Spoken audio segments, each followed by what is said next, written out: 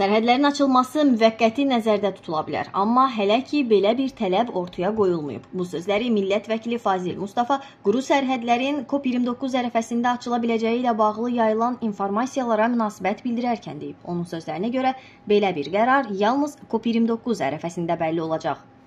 Bu tədbirə çox sayda insan gələcək. Belə bir şəraitdə sərhədlərin açıq olması yəqin ki, bir zərurətə çevriləcək. Amma quru sərhədlər operativ qərargahın mülahizələri əsasında bağlı saxlanılır. Hökumət bu istiqamətdə hansısa bir addım atmağı nəzərdə tutmur. Görünür, müəyyən mənada virus və başqa təhlükə səbəbindən bağlı saxlanılır. İndi o situasiyada doğru və optimal qərar veriləcək. İndidən qəti bir söz demək tezdir deyə millət vəkili vurğulayıb.